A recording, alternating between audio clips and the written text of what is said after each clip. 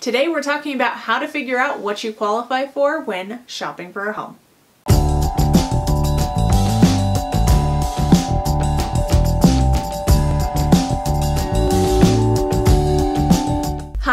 Hi, Summers with Seasons Real Estate, and if you're new here, make sure you like and subscribe so you can find out everything about Utah and real estate. Today we're talking about how to figure out what you qualify for in a home. So this is a very loaded question because it's actually pretty complicated when it comes to each borrower.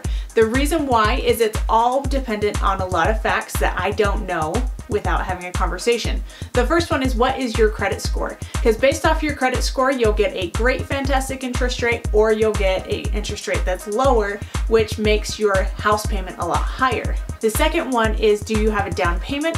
Are you a first time home buyer and how much extra debt you have beyond your housing costs? So what lenders do to simplify it is they have what's called a debt to income ratio. Depending on the loan you're doing, each loan has a slightly different ratio that they allow. If you're doing a first time home buyer loan, which is typically called an FHA loan, they'll actually let you go up to 54% debt to income ratio, which I would never recommend you do because you will be house poor if you max your debt to income ratio. Because if you spend 54% of your income on your housing, and that's just your house payment, your taxes, and your insurance. That's not talking about utilities, that's not talking about the things that go in your house, that's just your house payment.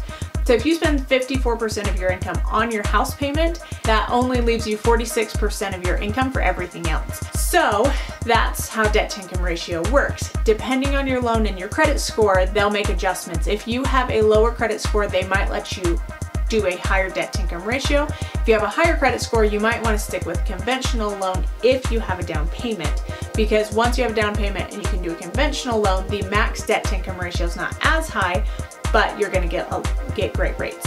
How FHA makes adjustments for it is they do typically have a lower interest rate than a conventional loan, but you're going to have mortgage insurance, and mortgage insurance is going to count against your debt to income ratio.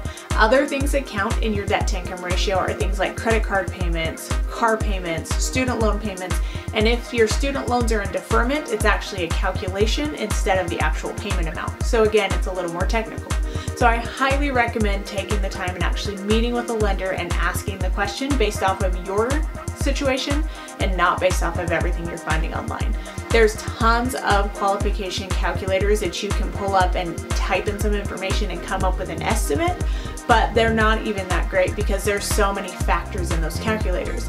Because right now interest rates are 2.5% if you have a credit score above 740. But if you don't know your credit score, you're not gonna know that 2.5 is what you're gonna get. If your credit score is 620, you're probably gonna be closer to a 4% interest rate right now or 4.5, which is quite a bit higher than what other people are locking.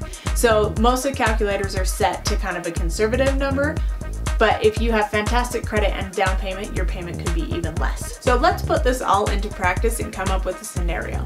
So let's say you make $65,000 a year and your credit score is 700. That's not gonna get you the best rate of the day, but it's not gonna get you a terrible rate. And then you have a car payment that's 150 a month and a credit card payment that's 50 a month. So your debt is $200 a month.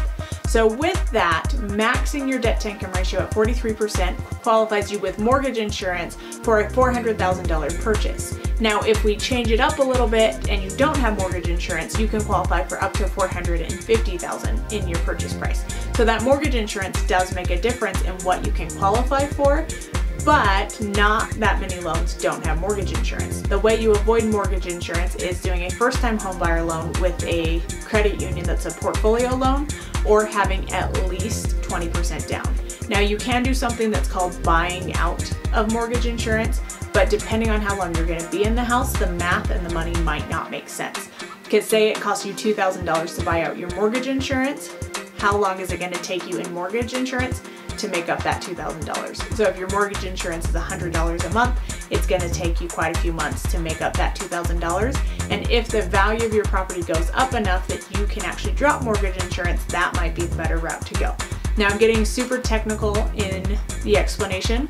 So again, I highly recommend talking to a lender who can walk you through all of this And I actually would go with a lender that you trust enough to know all of this and go through the, the scenarios before you even get there. Because if you have to sit through all of this, unless you're super technical like me and enjoy the extra information, it might be a little overwhelming. So if you are looking to buy in the great state of Utah and you need a lender to help you through this process, I know a ton of lenders and based off of your circumstance can give you a recommendation.